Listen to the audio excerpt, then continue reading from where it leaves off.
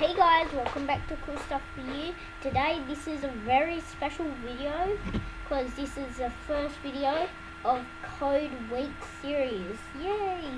So Code Week series, the Code Week series is where um I tell you two codes and how to get them off.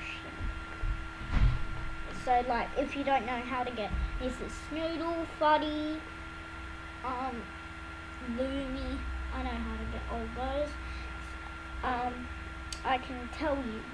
You can look at Code Week and I'll tell you how to get them washing. And the ones, I might even do unreleased ones. So if like um, an a Moshling that um, that's unreleased um, does actually actually isn't un isn't released and I can I can tell you how to get those ones as well.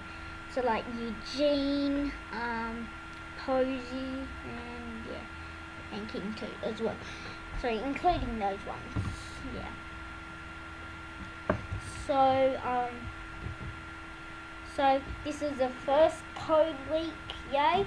So every Tuesday in um, every Tuesday in Australia, every Tuesday afternoon, or every mon every Tuesday afternoon in Australia, and every Monday morning in the US. I think Monday morning. I'm not sure. Monday night. I don't know. But on Monday, US, Tuesday, um, Australia, I will do a code week video. So, yeah, and it's Tuesday today in Australia. So, so, the, these are how to tell, this is how to get the Snow Crash statue into the code Snowies. S N O W Y S. And the Cluekoo Clock enter code TikTok T I C K T O C K.